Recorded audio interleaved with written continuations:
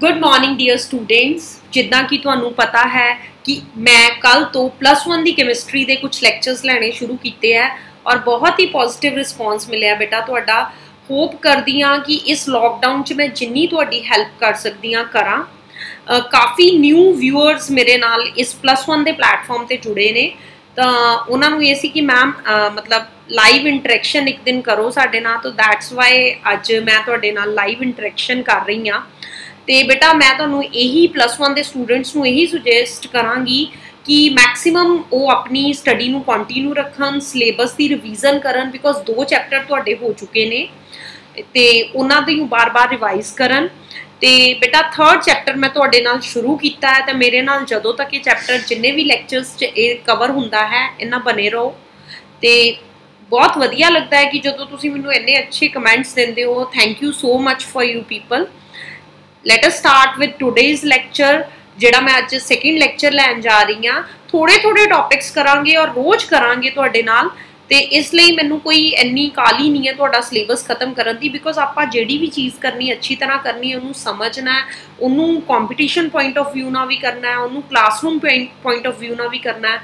ਠੀਕ ਹੈ ਨਾ? So let us start with today's lecture that is, let's start the chemistry of 11th class ਔਰ ਅੱਜ ਜੋ ਜੋ ਮੈਂ ਤੁਹਾਡੇ ਨਾਲ ਡਿਸਕਸ ਕਰਨ ਜਾ ਰਹੀ ਹਾਂ, ਪਹਿਲੇ ਤਾਂ ਬੇਟਾ ਆਪਾਂ, ਮੈਂ ਤੁਹਾਡੇ ਨਾਲ ਡਿਸਕਸ ਕਰਾਂਗੀ ਮੈਂਡਲਿਫ ਪੀਰੀਓਡਿਕ ਲਾ ਜਿੱਦਾਂ ਮੈਂ ਥੋੜਾ ਜਿਹਾ ਤੁਹਾਨੂੰ ਹਿੰਟ ਕੱਲ ਦਿੱਤਾ ਸੀ।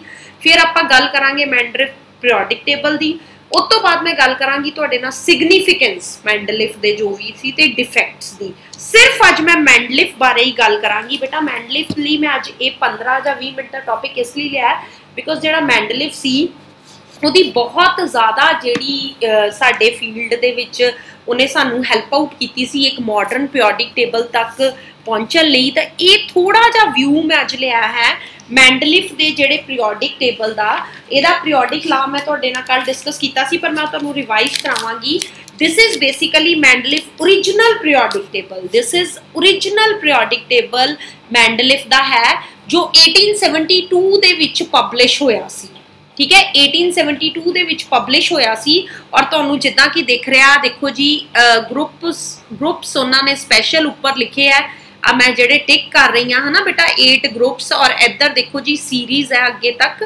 ਔਰ ਜਿੰਨੇ ਵੀ ਐਲੀਮੈਂਟਸ ਉਸ ਟਾਈਮ ਤੇ ਨੋਨ ਸੀ ਮੈਂਡਲਿਫ ਨੇ ਉਹਨਾਂ ਨੂੰ ਇੱਕ ਪ੍ਰੋਪਰ ਅਰੇਂਜਮੈਂਟ ਦਿੱਤੀ ਸੀ। ਔਰ ਕਿਸ ਕਿਸ ਦੇ ਅਕੋਰਡਿੰਗ ਅਰੇਂਜਮੈਂਟ ਕੀਤੀ ਸੀ, ਉਹ ਮੈਂ ਤੁਹਾਡੇ ਨਾਲ ਕੱਲ ਡਿਸਕਸ ਕੀਤਾ ਸੀ ਤੇ ਅੱਜ ਵੀ ਕਰਾਂਗੀ।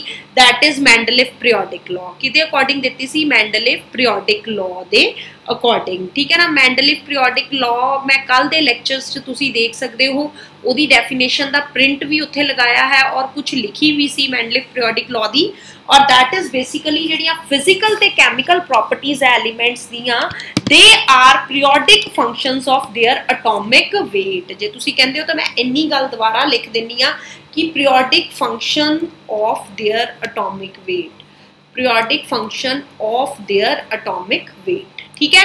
ਮੈਂ ਤੁਹਾਨੂੰ ਕਹਿ ਰਹੀ ਸੀ ਕਿ ਜਿੰਨੇ ਵੀ ਹਿਸਟੋਰੀਕਲ ਡਿਵੈਲਪਮੈਂਟਸ ਜਿੰਨੇ ਵੀ ਅਸੀਂ ਆਥਰ ਜਿੰਨੇ ਵੀ ਅਸੀਂ ਸਾਇੰਟਿਸਟ ਦੀ ਗੱਲ ਕਰਾਂਗੇ, ਉਹਨਾਂ ਨੇ ਪੀਰੀਓਡਿਕ ਟੇਬਲ ਦੀ ਜਿਹੜੀ ਉਹ ਹੈ, ਉਹ that is totally based upon atomic weight. ਠੀਕ ਹੈ ਬੇਟਾ? ਔਰ ਮੈਂ ਤੁਹਾਨੂੰ ਇੱਥੇ ਇੱਕ ਗੱਲ ਹੋਰ ਸਮਝਾਈ ਸੀ ਕਿ ਜਿਹੜੀ ਰੈਪੀਟੀਸ਼ਨ ਆਫ ਪ੍ਰੋਪਰਟੀਆਂ ਹੈ, ਜਿਹੜੀਆਂ ਰੈਪੀਟੀਸ਼ਨ ਹੈ ਪ੍ਰੋਪਰਟੀਆਂ ਦੀਆਂ ਇੱਕ ਸਰਟਨ ਇੰਟਰਵਲ ਬਾਅਦ repetition of properties of elements repetition of properties of elements after ਜਿਹਦਾ ਇੱਕ certain interval ਤੋਂ ਬਾਅਦ after certain regular intervals ਤੋਂ ਬਾਅਦ ਤਾਂ ਉਹਨੂੰ ਆਪਾਂ ਕਹਿੰਦੇ ਆ periodicity after certain regular intervals and these are called as periodicity ਕੀ ਕਹਿੰਦੇ ਆ ਜੀ ਇਹਨੂੰ periodicity of properties ਠੀਕ ਹੈ ਬੇਟਾ ਇਹਨੂੰ ਕਹਿੰਦੇ ਆਪਾਂ periodicity of properties ਇਹ ਦੋ ਗੱਲਾਂ ਤੁਸੀਂ ਜ਼ਰੂਰ ਕਰਨੀਆਂ ਹੈ ਮੈਂਡਲਿਫ ਦੀ ਪੀਰੀਓਡਿਕ ਲਾਅ ਕਿਉਂਕਿ ਜਿਹਦੇ ਬੇਸ ਤੇ ਮੈਂਡਲਿਫ ਨੇ ਕਲਾਸੀਫਿਕੇਸ਼ਨ ਦਿੱਤੀ ਬੇਸਿਕਲੀ ਜਿਹੜਾ ਇਹ ਪਰਪਸ ਇਹ ਜਿਹੜਾ ਪੀਰੀਓਡਿਕ ਲਾਅ ਸੀ ਮੈਂਡਲਿਫ ਨੇ, ਇਹ 1869 ਚ ਦਿੱਤਾ ਸੀ। 1869 ਦੇ ਵਿੱਚ ਮੈਂਡਲਿਫ ਨੇ ਪੀਰੀਓਡਿਕ ਲਾਅ ਦਿੱਤਾ ਸੀ। ਮਤਲਬ ਮੈਂਡਲਿਫ ਨੇ ਇੰਡੀਪੈਂਡੈਂਟਲੀ ਲੋਥਰਮੇਅਰ ਤੇ ਮੈਂਡਲਿਫ ਨੇ ਇੰਡੀਪੈਂਡੈਂਟਲੀ ਪ੍ਰਪੋਜ਼ ਕੀਤਾ ਸੀ very similar results but work of Lothar Meyer was published only after the work of Mendeleev ਠੀਕ ਹੈ ਤੇ ਉਹ ਲੋਥਰ ਮੇਅਰ ਵੀ ਮੈਂ ਤੁਹਾਨੂੰ ਕੱਲ ਥੋੜਾ ਜਿਹਾ ਐਕਸਪਲੇਨ ਕਰਤਾ। ਅੱਗੇ ਬੇਟਾ ਗੱਲ ਕਰਾਂਗੇ ਮੈਂਡਲਿਫ ਦੇ ਪੀਰੀਓਡਿਕ ਟੇਬਲ ਦੀ ਇੱਕ ਵਾਰੀ, ਤਾਂ ਤੁਸੀਂ ਧਿਆਨ ਨਾਲ ਜਰਾ ਕੈਰੈਕਟਰਿਸਟਿਕਸ ਦੇਖੋ, ਜਰਾ ਮੈਂਡਲਿਫ ਦੇ ਪੀਰੀਓਡਿਕ ਟੇਬਲ ਦਾ ਗਰੁੱਪ ਦਿੱਤੇ ਹੋਏ ਆ ਤੁਹਾਨੂੰ ਜੀ। 1 2 3 4 5 7 6 7 8 ਬੇਟਾ 1872 ਦੇ ਵਿੱਚ ਜਿਹੜਾ origignal ਮੈਂਡਲਿਫ ਦਾ ਟੇਬਲ ਜਿਹੜਾ ਹੈ, ਉਹ ਪਬਲਿਸ਼ ਹੋਇਆ ਸੀ। ਬਟ ਇਹਦਾ ਜਿਹੜਾ ਕਹ ਲਓ ਮੋਡੀਫਾਈ ਮੈਂਡਲਿਫ ਪੀਰੀਓਡਿਕ ਟੇਬਲ ਵੀ ਸਾਨੂੰ ਮਿਲਿਆ ਸੀ, ਆਪਾਂ ਇੰਨੀ ਡਿਟੇਲ 'ਚ ਨਹੀਂ ਜਾਣਾ, ਕਿਉਂਕਿ ਜਿੰਨਾ ਤੱਕ ਆਪਾਂ ਹੈਨਰੀ ਨੇ ਇਨਵੈਂਸ਼ਨ ਨਹੀਂ ਕੀਤੀ ਸੀ, ਉਹਨਾਂ ਤੱਕ ਆਪਾਂ ਮੈਂਡਲਿਫ ਪੀਰੀਓਡਿਕ ਟੇਬਲ ਦੇ ਨਾਲ ਹੀ ਪੜ੍ਹਦੇ ਰਹੇ ਸੀ ਔਰ ਕਾਫੀ ਕੁਝ ਇਹਨੇ ਸਾਨੂੰ ਦੱਸ ਦਿੱਤਾ ਸੀ ਮੈਂਡਲਿਫ ਨੇ। ਮੈਂਡਲਿਫ ਦੀ ਇੱਕ ਬਹੁਤ ਅੱਛੀ ਗੱਲ ਸੀ ਬੇਟਾ, ਇਹਨੇ ਕੁਝ ਐਲੀਮੈਂਟਸ ਲਈ ਸਪੇਸਸ ਛੱਡ ਦਿੱਤੇ ਸੀ ਬਲੈਂਕ ਸਪੇਸਸ ਆਪਣੇ ਪੀਰੀਓਡਿਕ ਟੇਬਲ 'ਚ। ਕਿਉਂ ਛੱਡੇ ਸੀ ਬਲੈਂਕ ਸਪੇਸਸ ਕਿਉਂਕਿ ਉਹ ਸ਼ੋ ਕਰਦਾ ਸੀ ਕਿ ਜਿਹੜੇ ਫਰਦਰ ਇਨ ਫਿਊਚਰ ਹੈ ਨਾ, ਉਹ ਐਲੀਮੈਂਟਸ ਡਿਸਕਸ ਹੋ ਜਾਣਗੇ ਡਿਸਕਵਰ ਹੋ ਜਾਣਗੇ, ਤਾਂ ਉਹਨਾਂ ਨੂੰ ਇਹਨਾਂ ਨੇ ਨਾਮ ਦਿੱਤਾ ਸੀ ਈਕਾ ਅਲਮੀਨੀਅਮ ਔਰ ਈਕਾ ਸਿਲੀਕਨ। ਮਤਲਬ ਅਲਮੀਨੀਅਮ ਤਾਂ ਡਿਸਕਵਰ ਸੀ, ਤਾਂ ਜਿਹੜਾ ਡਿਸਕਵਰ ਇਨ ਫਿਊਚਰ ਮੈਂਡਲਿਫ ਕਹਿੰਦੇ ਉਹ ਹੋਏਗਾ ਈਕਾ ਅਲਮੀਨੀਅਮ ਔਰ ਈਕਾ ਸਿਲੀਕਨ। ਮੈਂ ਇੱਥੇ ਗੱਲ ਕਰਾਂਗੀ ਇਹਨਾਂ ਬਾਰੇ ਸਾਰਾ ਕੁਝ। ਬੇਸਿਕਲੀ ਜਿਹੜਾ ਈਕਾ ਦਾ ਵਰਡਸ ਈਕਾ ਜਿਹੜਾ ਸੰਸਕ੍ਰਿਤ ਦਾ ਵਰਡ ਹੈ, ਇਹਦਾ ਮੀਨ ਹੁੰਦਾ ਨੈਕਸਟ ਠੀਕ ਹੈ ਨਾ? So he ਬਲੀਵਡ that these would be similar to aluminum and silicon, ਕਿ ਜਿਹੜੇ ਇਨ ਫਿਊਚਰ ਡਿਸਕਵਰ ਹੋਣਗੇ, ਉਹ ਅਲਮੀਨੀਅਮ ਤੇ ਸਿਲੀਕਨ ਦੇ ਜਿਹੜੇ ਸਿਮਿਲਰ ਹੋਣਗੇ। ਠੀਕ ਹੈ ਨਾ? ਦੈਟਸ ਵਾਈ ਉਹਨਾਂ ਨੇ ਈਕਾ ਵਰਡ ਉਹਨਾਂ ਨੂੰ ਨਾਮ ਦੇ ਦਿੱਤਾ ਸੀ। ਔਰ ਇਨ ਬਹੁਤ ਇਹ ਬਿਲਕੁਲ ਸਹੀ ਹੋਇਆ, ਕਿਉਂਕਿ ਲੇਟਰ ਔਨ ਜਿਹੜੇ ਐਲੀਮੈਂਟਸ ਹੈ, ਉਹ ਸੇਮ ਪ੍ਰੋਪਰਟੀਆਂ ਵਾਲੇ ਜਿਹੜੇ ਮਤਲਬ ਉਹ ਡਿਸਕਵਰ ਹੋਏ, ਜਿਹੜੇ ਸੀ ਸਾਡੇ ਕੋਲ ਗੈਲੀਅਮ ਜਰਮੇਨੀਅਮ ਠੀਕ ਹੈ ਨਾ? ਮਤਲਬ ਬਿਲਕੁਲ ਸੇਮ ਪ੍ਰੋਪਰਟੀਆਂ ਸੀ ਉਹਨਾਂ ਦੀਆਂ, ਉਹ ਸਾਡੇ ਕੋਲ ਡਿਸਕਵਰੀ ਹੋਈ ਔਰ ਮੈਂਡਲੀਫ ਇੱਥੇ ਬਿਲਕੁਲ ਰਾਈਟ ਪ੍ਰੂਵ ਹੋਏ, ਜਿਹੜੀਆਂ ਜਗਾਵਾਂ ਉਹਨਾਂ ਨੇ ਛੱਡੀਆਂ ਸੀ, ਉਹ ਬਿਲਕੁਲ ਸਹੀ ਛੱਡੀਆਂ ਸੀ ਉਹਨਾਂ ਨੇ ਕਿ ਹਾਂਜੀ ਇਹ ਐਲੀਮੈਂਟਸ ਜਿਹੜੇ ਇਨ ਫਿਊਚਰ ਸਾਡੇ ਕੋਲ ਹੈ, ਉਹ ਆਣਗੇ ਅਤੇ ਉਹਨਾਂ ਦੀਆਂ ਪ੍ਰਾਪਰਟੀਆਂ ਜਿਹੜੀਆਂ ਹੈ, ਉਹ ਅਲਮੀਨੀਅਮ ਤੇ ਸਿਲੀਕਨ ਦੇ ਨਾਲ ਸਿਮਿਲਰ ਹੋਣਗੀਆਂ। ਸੋ ਇਹ ਬਿਲਕੁਲ ਸਹੀ ਹੋਇਆ, ਕਿਉਂਕਿ ਤੁਸੀਂ ਦੇਖੋਗੇ ਕਿ ਜੇ ਤੁਸੀਂ ਅਲਮੀ ਜੋ ਮੈਂ ਅਗਰ ਗੱਲ ਕਰਾਂ ਮੈਂਡਲੀਫ ਦੀ, ਤਾਂ ਜੀ ਉਹਨਾਂ ਨੇ ਨਾ ਇਕਾ ਅਲਮੀਨੀਅਮ ਦੀ ਪ੍ਰਾਪਰਟੀ ਬਾਰੇ ਦੱਸਿਆ ਸੀ ਕਿ ਉਹਦਾ ਐਟੋਮਿਕ ਜਿਹੜਾ ਮਾਸ ਹੈ ਨਾ, ਮੈਂ ਸਿਰਫ ਇੱਥੇ ਐਟੋਮਿਕ ਮਾਸ ਦੀ ਗੱਲ ਕਰਾਂਗੀ, ਮੈਂ ਜ਼ਿਆਦਾ ਡਿਟੇਲ 'ਚ ਨਹੀਂ ਜਾਵਾਂਗੀ, ਉਹਨਾਂ ਨੇ ਕਿਹਾ ਸੀ ਕਿ ਉਹਦਾ ਐਟੋਮਿਕ ਮਾਸ 68 ਹੋਏ। ਬਟ ਬਿਲਕੁਲ ਸਹੀ ਹੋਇਆ ਕਿ ਜਿਹੜਾ ਗੈਲੀਅਮ ਸਾਨੂੰ ਇਨ ਫਿਊਚਰ ਫਾਊਂਡ ਹੋਇਆ, ਉਹਦਾ ਐਟੋਮਿਕ ਮਾਸ 70 ਸੀਗਾ। 70 ਬੇਟਾ, ਹਨਾ?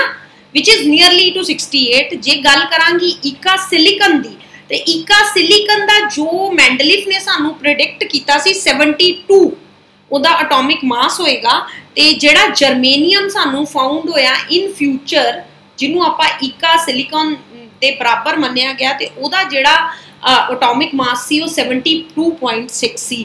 ਬਾਕੀ ਜੋ ਸਾਨੂੰ ਮੈਂਡਲਿਵ ਨੇ ਡੈਂਸਿਟੀ ਦਿੱਤੀ ਮੈਲਟਿੰਗ ਪੁਆਇੰਟ ਦਿੱਤੇ ਫਾਰਮੂਲੇ ਆਫ ਆਕਸਾਈਡਸ ਦਿੱਤੇ, ਜਾਂ ਫਾਰਮੂਲੇ ਆਫ ਕਲੋਰਾਈਡ ਦਿੱਤੇ, ਤੋਂ ਨੀਅਰਲੀ ਸੇਮ ਸੀ ਨੀਅਰਲੀ ਕੀ ਐਗਜ਼ੈਕਟਲੀ ਵੀ ਸੇਮ ਸੀ। ਸੋ ਮੈਂਡਲਿਫ ਇੱਥੇ ਬਿਲਕੁਲ ਸਹੀ ਪ੍ਰੂਫ ਹੋਏ। ਕੁਝ ਕੈਰੈਕਟਰਿਸਟਿਕਸ ਮੈਂਡਲਿਫ ਦੇ ਟੇਬਲਸ ਦੀ ਡਿਸਕਸ ਕਰਨ ਜਾ ਰਹੀਆਂ। Note these main points characteristics of Mendeleev periodic table ਬਹੁਤ ਹੀ ਇਨਵੈਂਸ਼ਨ ਦੇ ਜਿਹੜਾ ਸਾਡੇ ਕੋ ਅੱਜ ਮਾਡਰਨ ਪੀਰੀਓਡਿਕ ਟੇਬਲ ਹੈ, ਉਹਦੇ ਬਿਲਕੁਲ ਲਾਗੇ ਸਾਨੂੰ ਮੈਂਡਲੀਫ ਨੇ ਲਿਆ ਕੇ ਖੜੇ ਕਰਤਾ ਤੇ ਉਹਦੇ ਕੈਰੈਕਟਰਿਸਟਿਕਸ ਤੁਹਾਡੇ ਨਾਲ ਡਿਸਕਸ ਕਰਨ ਜਾ ਰਹੀ ਹਾਂ ਜੀ। ਮੈਂਡਲਿਫ ਦਾ ਜਿਹੜਾ origignal ਪੀਰੀਓਡਿਕ ਟੇਬਲ ਹੈ, ਉਹ ਪਬਲਿਸ਼ਡ ਹੋਇਆ ਸੀ 1872 ਚ। ਠੀਕ ਹੈ ਨਾ 1872 ਚ ਜਰਮਨ ਕੋਈ ਜਰਨਲ ਸੀ, ਉਹਦੇ ਵਿੱਚ ਇਹ ਜਿਹੜਾ ਇਹਨਾਂ ਦਾ ਪੀਰੀਓਡਿਕ ਟੇਬਲ ਹੈ, ਉਹ ਮਤਲਬ ਉਹਨੂੰ ਛਾਪਿਆ ਗਿਆ ਸੀ ਔਰ ਇਹਦੇ ਬੇਸਿਕਲੀ ਕੈਰੈਕਟਰਿਸਟਿਕਸ ਕੀ ਸੀ? 9 vertical columns called group 9 vertical columns 9 vertical columns called group ਠੀਕ ਹੈ ਜੀ ਕਾਲਡ ਗਰੁੱਪ ਠੀਕ ਹੈ ਜੀ 0 ਹਨਾ 0 ਵੀ ਸੀ ਨਾ, ਇਸ ਲਈ 9 ਮੰਨਿਆ। ਬੱਚੇ ਕਹਿਣਗੇ ਕਿ ਮੈਮ ਤੁਸੀਂ ਤਾਂ 8 ਤੱਕ 0 ਵੀ ਸੀ ਨਾ ਬੇਟਾ 2 3 and up to so on it is up to 8 ਠੀਕ ਹੈ?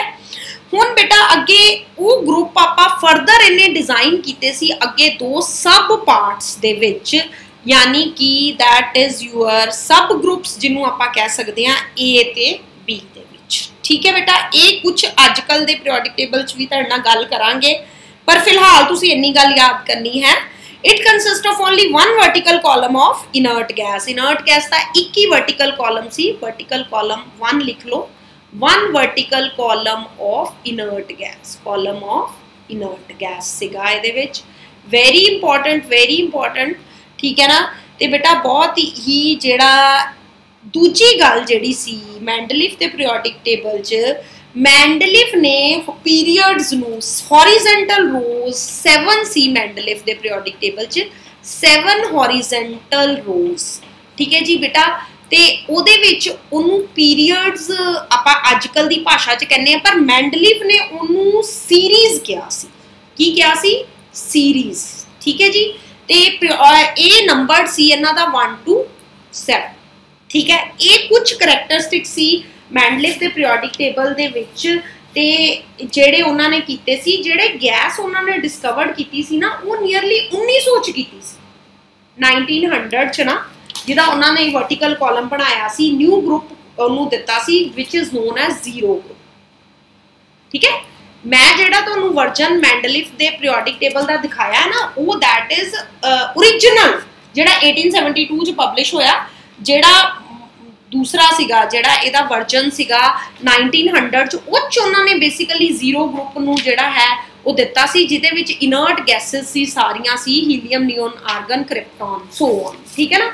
7 ਹੌਰੀਜ਼ੌਂਟਲ ਪੀਰੀਅਡ ਸੀ ਜਿੱਚੋਂ ਉਹਨਾਂ ਨੂੰ ਉਹਨਾਂ ਨੂੰ, ਉਹਨਾਂ ਨੇ ਕੀ ਕਿਹਾ ਸੀ? ਸੀਰੀਜ਼ ਅੱਗੇ ਬੇਟਾ, ਮੈਂ ਤੁਹਾਡੇ ਨਾਲ ਗੱਲ ਕਰਨ ਜਾ ਰਹੀ ਹਾਂ, ਮੈਂ ਤੁਹਾਨੂੰ ਕਿਹਾ ਸੀ ਕਿ ਮੈਂ ਅੱਜ ਦੋ ਹੀ ਟੌਪਿਕ ਇਹਦੇ ਲਵਾਂਗੇ, ਪਹਿਲੇ ਤਾਂ ਮੈਂ ਤੁਹਾਡੇ ਨਾਲ ਕੈਰੈਕਟਰਿਸਟਿਕਸ ਡਿਸਕਸ ਕਰ ਲਏ, ਅਗਲੀ ਮੈਂ ਜਿਹੜੀ ਗੱਲ ਤੁਹਾਡੇ ਨਾਲ ਡਿਸਕਸ ਕਰਨ ਜਾ ਰਹੀ ਹਾਂ, ਉਹ ਸਿਗਨੀਫੀਕੈਂਸ ਕਰਨ ਜਾ ਰਹੀ ਹਾਂ। ਸਿਗਨੀਫੀਕੈਂਸ ਇੱਥੇ ਮੋਡੀਫਾਈਡ ਪੀਰੀਓਡਿਕ ਟੇਬਲ ਮੈਂਡਲਿਫ ਦੇ ਪੀਰੀਓਡਿਕ ਟੇਬਲ ਦੀ ਮੈਂ ਗੱਲ ਕਰਾਂਗੀ। ਠੀਕ ਹੈ ਜੀ? Modified Mendeleev periodic table modified ਠੀਕ ਹੈ ਜੀ? ਕਿੱਦਾਂ ਦਾ ਮੋਡੀਫਾਈਡ ਜਿਹੜਾ ਮੈਂਡਲਿਫ ਦਾ ਪੀਰੀਓਡਿਕ ਟੇਬਲ ਸੀ?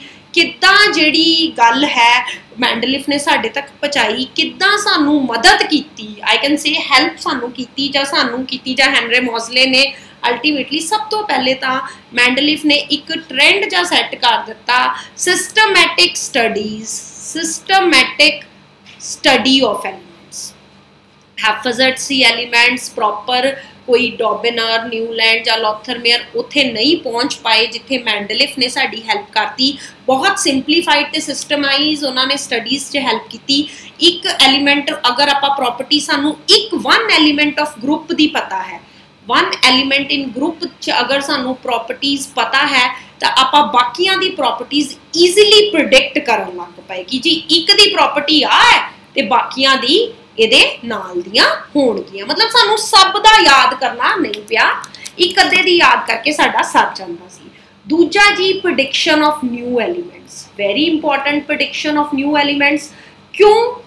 ਜਿੱਦਾਂ ਮੈਂ ਤੁਹਾਨੂੰ ਪਹਿਲੇ ਹੀ ਦੱਸਿਆ ਕਿ ਉਹਨਾਂ ਨੇ ਜਗ੍ਹਾ ਛੱਡਤੀ ਸੀ ਬਲੌਕਸ ਛੱਡਤੇ ਸੀ ਐਮਟੀ ਈਕਾ ਅਲਮੀਨੀਅਮ ਬਾਰੇ ਈਕਾ ਸਿਲੀਕਨ ਬਾਰੇ ਹਨਾ ਕਿ ਇਦਾਂ ਦੇ ਐਲੀਮੈਂਟ ਸੀਗੇ ਜਿਹੜੇ ਇਵੈਂਟ ਹੋਣਗੇ ਇੱਕ ਗੱਲ ਮੈਂ ਤੁਹਾਨੂੰ ਹੋਰ ਦੱਸਣਾ ਚਾਹਨੀ ਆ ਕਿ ਜਦੋਂ ਮੈਂਡਲਿਫ ਨੇ ਫਾਰਮੇਸ਼ਨ ਕੀਤੀ ਸੀ देयर आर 63 ਐਲੀਮੈਂਟਸ ਵਰ ਨੋ ਜਦੋਂ ਉਹਨਾਂ ਨੇ ਪੁਰਾਣਾ ਬਣਾਇਆ ਸੀ ਫਿਰ ਮੋਡੀਫਾਈ ਕੀਤਾ 1900 ਚ ਠੀਕ ਹੈ ਨਾ Therefore, while arranging these elements according to their properties, Mendeleev left some blank spaces or gaps. Blank spaces or gaps Ki future ਚ ਇਹ ਐਲੀਮੈਂਟਸ ਜਿਹੜੇ ਹੈ ਉਹ ਸਾਨੂੰ ਪਤਾ ਲੱਗਣਗੇ ਉਹ ਆਣਗੇ ਸਾਡੇ ਕੋ ਔਰ ਸਾਨੂੰ ਮਤਲਬ ਜਿਹੜੇ ਪ੍ਰੈਡਿਕਸ਼ਨ ਹੋਏਗੀ ਉਹਨਾਂ ਐਲੀਮੈਂਟਸ ਦੀ ਤੇ ਉਹ ਸਿਮਿਲਰ ਮੈਂ ਤੁਹਾਨੂੰ ਦੱਸ ਚੁੱਕੀ ਹਾਂ ਕਿ ਪ੍ਰੈਡਿਕਸ਼ਨ ਹੋਈ ਗੈਲੀਅਮ ਦੀ ਜਰਮੇਨੀਅਮ ਦੀ ਤੇ ਜੋ ਪ੍ਰੋਪਰਟੀਆਂ ਮੈਂਡਲਿਫ ਵੱਲੋਂ ਜਿਹੜੀਆਂ ਡਿਸਕਸ ਜਾਂ ਜਿਹੜੀਆਂ ਦਸੀਆਂ ਗਈਆਂ ਸੀ ਉਹਨਾਂ ਬਾਰੇ ਨੀਅਰਲੀ ਸਿਮਿਲਰ ਜਿਹੜੀਆਂ ਪ੍ਰੋਪਰਟੀਆਂ ਹੈ ਨਿਊ ਐਲੀਮੈਂਟਸ ਦੀਆਂ ਹੋਈ। ਠੀਕ ਹੈ?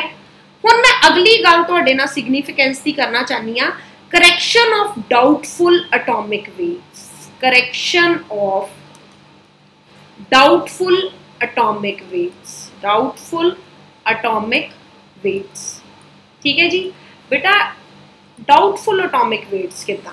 ਡਾਊਟਫੁਲ ਐਟੋਮਿਕ weights ਐਦਾਂ ਕਿ ਕਈ ਜਿਹੜੇ ਪੀਰੀਓਡਿਕ ਟੇਬਲ 'ਚ ਜਿਹੜੇ ਸਾਨੂੰ weights ਸਾਨੂੰ ਪਤਾ ਸੀ, ਉਹ ਪ੍ਰੋਪਰਲੀ ਸਾਨੂੰ ਨਹੀਂ ਮਤਲਬ ਹੈਲਪ ਸੀ, ਉਹ ਸਾਨੂੰ ਗਲਤ ਲੱਗਦੇ ਸੀ।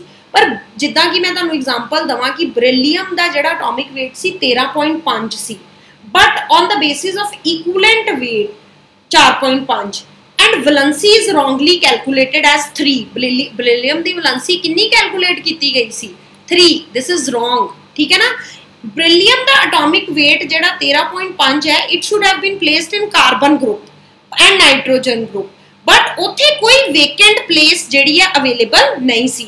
ਇਸ ਲਈ ਬ੍ਰਿਲੀਅਮ ਨੂੰ ਜਿਹੜੀ ਪੋਜੀਸ਼ਨ ਹੈ, ਉਹ ਕਿਹੜੀ ਹੈ? ਜਸਟੀਫਾਈਡ ਨਹੀਂ ਮਿਲੀ। ਪੋਜੀਸ਼ਨ ਉਹਨੂੰ ਜਸਟੀਫਾਈਡ ਜਿਹੜੀ ਪੋਜੀਸ਼ਨ ਸੀ, ਉਹ ਨਹੀਂ ਮਿਲੀ। ਇਸ ਲਈ valency 2 was assigned to beryllium ਜਿਨੇ ਉਹਨੂੰ ਐਟੋਮਿਕ weight ਕਿੰਨਾ ਦੇਤਾ? 4.5 ਜਦੋਂ ਉਹਨੂੰ ਵੈਲੈਂਸੀ ਉਹਦੀ 2 ਬ੍ਰਿਲੀਅਮ ਦੀ ਕੱਢੀ ਗਈ, ਤਾਂ ਇਹਦਾ ਮਤਲਬ 2 ਮਲਟੀਪਲਾਈ ਬਾਈ 4.5 ਜਿਹੜਾ ਉਹਦਾ weight ਮੰਨਿਆ ਜਾਂਦਾ ਸੀ, that is 9 ਇਹਦਾ ਮਤਲਬ it was placed at proper position.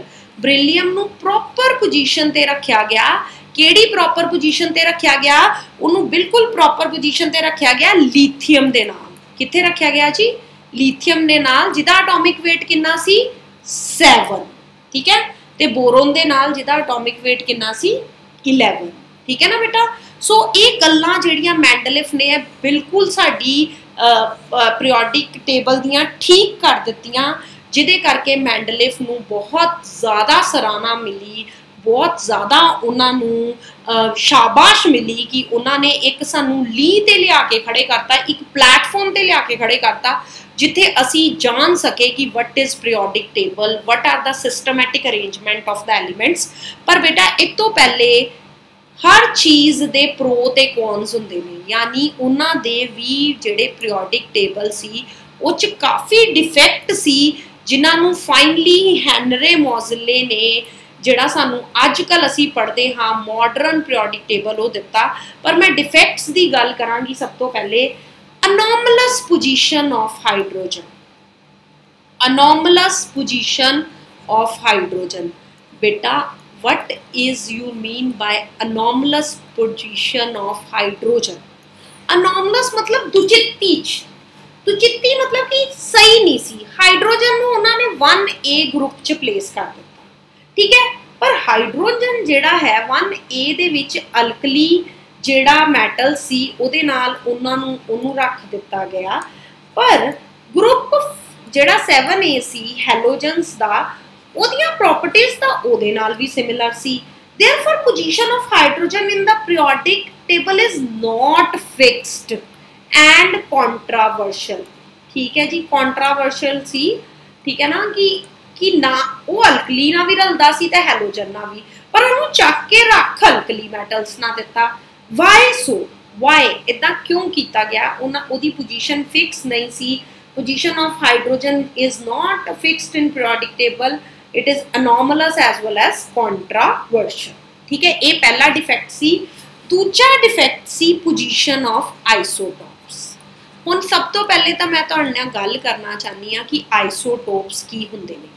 ਬੇਟਾ ਆਈਸੋਟੋਪਸ ਹੁੰਦੇ ਨੇ ਜਿਨ੍ਹਾਂ ਦਾ ਐਟੋਮਿਕ ਨੰਬਰ ਸੇਮ ਹੋਵੇ। ਤੇ ਐਟੋਮਿਕ ਮਾਸ ਡਿਫਰੈਂਟ ਹੋਵੇ ਐਟੋਮਿਕ ਮਾਸ ਕੀ ਹੋਵੇ ਡਿਫਰੈਂਟ ਹੋਵੇ ਠੀਕ ਹੈ ਹੁਣ ਜੇ ਆਪਾਂ ਗੱਲ ਕਰੀਏ ਮੈਂਡਲਿਫ ਨੇ ਜਿਹੜੀ ਆਪਣੀ ਕਲਾਸੀਫਿਕੇਸ਼ਨ ਸੀ ਉਹ ਐਟੋਮਿਕ ਮਾਸ ਦੇ ਸਿਰ ਤੇ ਦਿੱਤੀ ਸੀ ਕਿਹਦੇ ਸਿਰ ਤੇ ਦਿੱਤੀ ਸੀ ਜੀ ਐਟੋਮਿਕ ਮਾਸ ਦੇ ਸਿਰ ਤੇ ਦਿੱਤੀ ਸੀ ਹੁਣ ਇਹਦਾ ਮਤਲਬ ਅਗਰ ਹਾਈਡਰੋਜਨ ਦੇ ਸਾਡੇ ਕੋਲ ਤਿੰਨ ਆਈਸੋਟੋਪ ਸੀ ਠੀਕ ਹੈ ਹਾਈਡਰੋਜਨ ਦੇ ਸਾਡੇ ਕੋਲ ਤਿੰਨ ਆਈਸੋਟੋਪ ਸੀ ਠੀਕ ਹੈ ਜੀ ਇੱਕ ਦਾ ਐਟੋਮਿਕ ਮਾਸ 1 ਸੀ, ਇੱਕ ਦਾ ਐਟੋਮਿਕ ਮਾਸ 2 ਸੀ, ਇੱਕ ਦਾ ਐਟੋਮਿਕ ਮਾਸ 3 ਸੀ। ਤੇ ਇਹਦਾ ਮਤਲਬ ਹਾਈਡਰੋਜਨ ਨੂੰ ਮੈਂਡਲਿਫ ਦੇ ਪੀਰੀਓਡਿਕ ਟੇਬਲ 'ਚ ਕਿੰਨੀਆਂ ਪਲੇਸਿਸ ਮਿਲਣੀਆਂ ਚਾਹੀਦੀਆਂ ਸੀ? ਤਿੰਨ ਮਿਲਣੀਆਂ ਚਾਹੀਦੀਆਂ ਸੀ। ਕਿਉਂ? ਕਿਉਂਕਿ ਜਿਹੜਾ ਮੈਂਡਲਿਫ ਦਾ ਪੀਰੀਓਡਿਕ ਟੇਬਲ ਹੈ, ਉਹ ਕਿੱਤੇ ਬੇਸ ਹੈ? ਉਹ weight ਤੇ ਬੇਸ ਹਨਾ? ਐਟੋਮਿਕ weight ਤੇ ਬੇਸ ਹੈ। ਪਰ ਇਦਾਂ ਨਹੀਂ ਹੋਇਆ। ਆਈਸੋਟੋਪ ਨੂੰ ਇੱਕੋ ਹੀ ਪੋਜੀਸ਼ਨ ਦਿੱਤੀ ਗਈ। ਥੈਟ ਇਜ਼ ਆਈਸੋਟੋਪਸ ਮਤਲਬ ਜਿਹੜੀ ਹੈ ਉਹਦੀ ਜਿਹੜੀ ਪੋਜੀਸ਼ਨ ਹੈ ਡਿਫਰੈਂਟ ਪਲੇਸਿਸ ਨਹੀਂ ਦਿੱਤੀਆਂ ਗਈਆਂ ਆਈਸੋਟੋਪਸ should be placed at should be placed at different different places in the periodic table different places in the periodic table ਪਰ ਐਦਾਂ ਨਹੀਂ ਹੋਇਆ ਐਦਾਂ ਨਹੀਂ ਹੋਇਆ। ਇਸ ਲਈ ਬੇਟਾ ਥੋੜਾ ਜਿਹਾ ਆਈਸੋਟੋਪਸ ਆਫ ਐਲੀਮੈਂਟਸ ਜਿਹੜੇ ਹੈ, ਉਹਨਾਂ ਨੂੰ ਡਿਫਰੈਂਟ ਪਲੇਸਿਸ ਕਿਉਂ ਨਹੀਂ ਦਿੱਤੀਆਂ ਗਈਆਂ? ਕਿਉਂ ਉਹਨਾਂ ਨੂੰ ਇੱਕੋ ਹੀ ਜਗ੍ਹਾ ਤੇ ਰੱਖ ਦਿੱਤਾ ਗਿਆ? ਇਹ ਵੀ ਥੋੜਾ ਜਿਹਾ ਡਿਫੈਕਟ ਜਿਹੜਾ ਸੀ, ਉਹ ਮੈਂਡਲਿਫ ਦੇ ਪੀਰੀਓਡਿਕ ਟੇਬਲ ਦੇ ਵਿੱਚ ਸੀਗਾ। ਅੱਗੇ ਸ਼ਾਰਟਕਟ ਵਿੱਚ ਡਿਸਕਸ ਕਰਾਂਗੀ ਦੋ ਤਿੰਨ ਇਫੈਕਟਸ ਹੋਰ। ਪਹਿਲੇ ਤਾਂ position of lanthanides and actinides ਮਤਲਬ ਲੈਂਥੇਨਾਈਡਸ ਤੇ ਐਕਟੇਨਾਈਡਸ ਦੀਆਂ ਜਿਹੜੀਆਂ ਪੋਜੀਸ਼ਨ ਸੀ, ਉਹਨਾਂ ਨੂੰ ਵੀ ਕੋਈ ਇੰਨਾ ਮਤਲਬ ਜਗ੍ਹਾ ਨਹੀਂ ਦਿੱਤੀ ਗਈ। ਉਹਦੇ ਬਾਰੇ ਤੁਹਾਡੇ ਨਾਲ ਗੱਲ ਕਰਾਂਗੀ। That is position of lanthanides ਤੇ ਐਕਟਿਨਾਈਡਸ ਜੇ ਤੁਸੀਂ ਮਾਡਰਨ ਪੀਰੀਓਡਿਕ ਟੇਬਲ ਦੀ ਗੱਲ ਕਰੋ, ਤਾਂ ਉੱਥੇ ਲੈਂਥੇਨਾਈਡਸ ਤੇ ਐਕਟਿਨਾਈਡਸ ਨੂੰ ਜਗ੍ਹਾ ਮਿਲੀ ਹੈ। ਠੀਕ ਹੈ ਬੇਟਾ? ਜਿੱਦਾਂ ਕਿ ਐਲੀਮੈਂਟ ਆਫ 14 ਜਿਹੜੇ ਹੈਗੇ ਆ, ਉਹ ਲੈਂਥੇਨਮ ਫਰੋਮ ਐਟੋਮਿਕ weights ਹੈ ਤੇ ਅਨਦਰ ਗਰੁੱਪ ਵੀ ਹੈਗਾ। ਠੀਕ ਹੈ? They have not given in given proper position in the frame ਉਹਨਾਂ ਨੂੰ ਪ੍ਰੋਪਰ ਪੋਜੀਸ਼ਨ ਨਹੀਂ ਦਿੱਤੀ ਗਈ ਫਰੇਮ ਦੇ ਵਿੱਚ। ਫਰੇਮ ਯਾਨੀ ਕਿ ਮੈਂਡਲਿਫ ਦੇ ਜਿਹੜੇ ਹੈ ਟੇਬਲ ਦੇ ਵਿੱਚ, ਠੀਕ ਹੈ? ਅੱਗੇ ਗੱਲ ਕਰਨੀ ਚਾਹਨੀ ਆ ਅਗਲੇ ਡਿਫੈਕਟ ਦੀ ਕਿ position of elements of group 8 position of elements of group 8 ਠੀਕ ਹੈ ਜੀ? ਗਰੁੱਪ 8 ਬੇਟਾ, ਜਿਹੜੇ ਐਲੀਮੈਂਟਸ ਆਫ ਗਰੁੱਪ 8 ਦੇ ਸੀ no proper place has been allotted to nine elements of group 8 which have been arranged in three trades without any justification. ਕਿ ਉਹਨਾਂ ਨੂੰ ਤਿੰਨ ਤਿੰਨ ਹਿੱਸਿਆਂ ਵਿੱਚ ਟ੍ਰੇਡਸ 'ਚ ਵੰਡ ਦਿੱਤਾ ਗਿਆ ਡਿਸਟ੍ਰੀਬਿਊਟ ਕਰ ਦਿੱਤਾ ਗਿਆ, ਤੇ ਉਹਨਾਂ ਨੂੰ ਪ੍ਰੋਪਰ ਇੱਕ ਪੋਜੀਸ਼ਨ ਨਹੀਂ ਦਿੱਤੀ ਗਈ, ਠੀਕ ਹੈ? ਫਿਫਥ ਡਿਫੈਕਟ ਦੀ ਗੱਲ ਕਰਾਂਗੀ anomalous pair of elements anomalous pairs of elements anomalous pairs of elements ਦੀ ਕੀ ਗੱਲ ਕਰਨਾ ਚਾਹਨੀ ਆ ਮੈਂ ਤੁਹਾਡੇ ਨਾਲ? ਕਿ ਕੁਝ ਐਲੀਮੈਂਟਸ ਇਦਾਂ ਦੇ ਸੀ ਜਿਨ੍ਹਾਂ ਦੇ ਐਟੋਮਿਕ weight ਪ੍ਰੋਸੀਡ ਕਰਦੇ ਸੀ elements with the lower atomic weight. ਜਿੱਦਾਂ ਕਿ ਹੁਣ ਦੇਖੋ ਆਰਗਨ ਦਾ ਐਟੋਮਿਕ weight ਤੁਸੀਂ ਕਹਿੰਦੇ ਹੋ 39.9 ਠੀਕ ਹੈ? ਪਰ ਇਹ ਪੋਟਾਸ਼ੀਅਮ ਨੂੰ ਪ੍ਰੋਸੀਡ ਕਰਦਾ ਸੀ, ਜਿਹਦਾ weight ਕਿੰਨਾ ਸੀ? ਪੋਟਾਸ਼ੀਅਮ ਦਾ ਸਿੰਬਲ K ਹੁੰਦਾ? ਹੈ 39.1 ਜਦ ਕਿ ਤੁਸੀਂ ਇਹ ਕਿਹਾ ਕਿ ਅਸੀਂ ਇਨਕਰੀਜ਼ਿੰਗ ਐਟੋਮਿਕ weight ਦੇ ਸਿਰ ਦੇ ਉੱਤੇ ਜਿਹੜੀ ਹੈ, ਆਪਣੀ ਉਹ ਕੀਤੀ ਹੈ ਜਿਹੜੀ ਕਲਾਸੀਫਿਕੇਸ਼ਨ ਫਿਰ ਐਦਾਂ ਕਿਉਂ ਕੀਤਾ ਗਿਆ ਜਾਂ ਐਦਾਂ ਕਿਉਂ ਮੈਂਡਲਿਫ ਨੂੰ ਕਰਨਾ ਪੈ ਗਿਆ? ਠੀਕ ਹੈ ਨਾ ਬੇਟਾ? ਇਹ ਕੁਝ ਐਦਾਂ ਦੇ ਡਿਫੈਕਟ ਸੀ, ਜਿਹਦੇ ਕਰਕੇ ਜਿਹੜਾ ਮੈਂਡਲਿਫ ਹੈ ਨੂੰ ਦੇ ਪੀਰੀਓਡਿਕ ਟੇਬਲ ਨੂੰ ਕੁਐਸਚਨ ਮਾਰਕਸ ਦੇ ਵਿੱਚ ਖੜਾ ਕਰ ਦਿੱਤਾ ਗਿਆ। ਔਰ ਜਿਹਦੇ ਕਰਕੇ 1912 ਦੇ ਵਿੱਚ 1912 ਦੇ ਵਿੱਚ ਮੌਜ਼ਲੇ ਨੇ ਇੱਕ ਨਵਾਂ ਸਾਡੇ ਤੱਕ ਇੰਗਲਿਸ਼ ਫਿਜ਼ਿਸਟ ਸੀ ਫਿਜ਼ਿਕਸ ਦੇ ਮਈਅਰਡ ਦਾ ਮਤਲਬ ਉਹਨੇ ਐਕਸ-ਰੇ ਦੀਆਂ ਮਿਟਡ ਜਿਹੜੀਆਂ ਫ੍ਰੀਕੁਐਂਸੀਜ਼ ਆ ਉਹਨੂੰ ਮਈਅਰ ਕਰਕੇ ਇੱਕ ਕਹਿ ਲੋ ਕਿ ਇੱਕ ਉਹਨਾਂ ਨੇ ਲਾਅ ਕੱਢਿਆ, ਮਤਲਬ ਬੇਸਿਕਲੀ ਜਿਹਨੂੰ ਆਪਾਂ ਡਿਸਕਸ ਕਰਾਂਗੇ ਹੁਣ as atomic number and and modern periodic law, and modern periodic law. ਅਗਲੇ ਲੈਕਚਰਸ ਦੇ ਵਿੱਚ ਮੈਂ ਐਟੋਮਿਕ ਨੰਬਰ ਬਾਰੇ ਗੱਲ ਕਰਾਂਗੀ ਮਾਡਰਨ ਪੀਰੀਓਡਿਕ ਲਾਅ ਬਾਰੇ ਗੱਲ ਕਰਾਂਗੀ ਜਸਟੀਫਿਕੇਸ਼ਨਸ ਬਾਰੇ ਗੱਲ ਕਰਾਂਗੀ। ਕਿਉਂ? ਕਾਜ਼ ਆਫ ਪੀਰੀਓਡਿਸਿਟੀ ਆਪਾਂ ਕਹਿੰਦੇ ਜੀ, ਇੱਕ ਇੱਕ ਇੰਟਰਵਲ ਬਾਅਦ, ਇੱਕ ਇੰਟਰਵਲ ਬਾਅਦ ਪ੍ਰੋਪਰਟੀਆਂ ਜਿਹੜੀਆਂ ਰਿਪੀਟ ਕਰਨ ਲੱਗ ਪੈਂਦੀਆਂ। ਐਦਾਂ ਕਿਉਂ ਹੁੰਦਾ ਹੈ? ਨਾਲ ਦੇ ਨਾਲ ਮੈਂ ਤੁਹਾਡੇ ਨਾਲ ਗੱਲ ਕਰਾਂਗੀ ਮਾਡਰਨ ਪੀਰੀਓਡਿਕ ਟੇਬਲ ਦੇ ਵਿੱਚ ਕਿੰਨੇ ਗਰੁੱਪਸ ਨੇ, ਕਿੰਨੇ ਪੀਰੀਅਡਸ ਹੈ। ਪਰ ਇੱਥੇ ਮੈਂ ਤੁਹਾਨੂੰ ਇੱਕ ਗੱਲ ਹੋਰ ਕਹਿਣਾ ਚਾਹਨੀ ਆ ਬੇਟਾ ਮੇਰੀ ਇਹ ਗੱਲ ਨੂੰ ਤੁਸੀਂ ਸੀਰੀਅਸਲੀ ਧਿਆਨ ਨਾਲ ਸੁਣਿਓ। ਤੁਸੀਂ ਕੀ ਕਰਦੇ ਹੋ ਕਿ ਤੁਸੀਂ ਲੈਕਚਰਸ ਨੂੰ ਦੇਖਣਾ ਸ਼ੁਰੂ ਕਰਦੇ ਹੋ ਤੇ ਤੁਸੀਂ ਜੀ ਸਟਾਰਟਿੰਗ 'ਚ ਦੇਖਦੇ ਹੋ, ਇਹ ਤਾਂ ਸਾਨੂੰ ਆਂਦਾ ਜੀ, ਇਹ ਤਾਂ ਸਾਨੂੰ ਆਂਦਾ ਤਾਂ ਤੁਸੀਂ ਐਂਡ ਤੱਕ ਉਸ ਲੈਕਚਰ ਨੂੰ ਫੋਲੋ ਨਹੀਂ ਕਰਦੇ। ਔਰ ਇਹ ਮੈਨੂੰ ਪਤਾ ਲੱਗ ਰਿਹਾ because I have all the details ਹਨਾ? ਤੇ ਜਿੰਨਾ ਤੱਕ ਤੁਸੀਂ ਫੁੱਲ ਲੈਕਚਰ ਨਹੀਂ ਦੇਖੋਗੇ, ਕੀ ਪਤਾ ਮੈਂ ਜੋ ਕਲਾਸਰੂਮ ਤੁਹਾਡੀ ਸਟੱਡੀ ਹੋ ਰਹੀ ਹੈ ਜਾਂ ਕਿਤੋਂ ਵੀ ਤੁਸੀਂ ਆਨਲਾਈਨ ਪੜ੍ਹ ਰਹੇ ਹੋ, ਉਹ ਤੋਂ ਕੋਈ ਗੱਲ ਤੁਹਾਨੂੰ ਡਿਫਰੈਂਟ ਦੱਸੀ ਹੋਵੇ, ਠੀਕ ਹੈ ਨਾ? ਸੋ ਮੇਰੀ ਤੁਹਾਡੇ ਅੱਗੇ ਇਹੀ ਰਿਕੁਐਸਟ ਹੈ ਕਿ ਅਗਰ ਤੁਸੀਂ ਲੈਕਚਰ ਨੂੰ ਦੇਖਦੇ ਹੋ ਤੇ ਪੂਰਾ ਦੇਖੋ ਨੋਟਸ ਬਣਾਓ ਮੈਂ ਇਹ ਨਹੀਂ ਕਹਿ ਰਹੀ, ਜਿੰਨੇ ਪਲੇਟਫਾਰਮਸ ਤੋਂ ਤੁਸੀਂ ਇਹ ਪੜੋਗੇ ਉਨੀ ਤੁਹਾਡੀ ਕਲੈਰਿਟੀ ਹੋਏਗੀ ਕਨਸੈਪਟ ਦੀ। ਕੀ ਪਤਾ, ਕੋਈ ਚੀਜ਼ ਮੈਂ ਦੱਸੀ ਹੈ ਜੋ ਤੁਹਾਡੇ ਆਨਲਾਈਨ ਕਲਾਸਰੂਮ 'ਚ ਨਹੀਂ ਦੱਸੀ ਗਈ, ਜੋ ਤੁਹਾਨੂੰ ਆਨਲਾਈਨ ਨਹੀਂ ਪਤਾ ਲੱਗੀ, ਠੀਕ ਹੈ ਨਾ? ਸੋ ਮੇਰੀ ਤੁਹਾਡੇ ਅੱਗੇ ਹੀ ਰਿਕੁਐਸਟ ਹੈ ਕਿ ਲੈਕਚਰ ਨੂੰ ਪੂਰਾ ਫੋਲੋ ਕਰੋ, ਤਾਂ ਕਿ it will helpful to you in future ਕੱਲ ਨੂੰ ਤੁਸੀਂ ਐਂਟਰੈਂਸ ਦੇਣੇ ਆ ਠੀਕ ਹੈ ਨਾ? ਈਅਰਸ ਮੈਂ ਦੱਸ ਰਹੀ ਹਾਂ, ਤੇ ਕਈ ਵਾਰੀ ਐਂਟਰੈਂਸ 'ਚ ਈਅਰ ਹੀ ਪੁੱਛਿਆ ਜਾਂਦਾ ਹੈ, ਠੀਕ ਹੈ? ਸੋ till then next lecture goodbye. Take care my dear students. Goodbye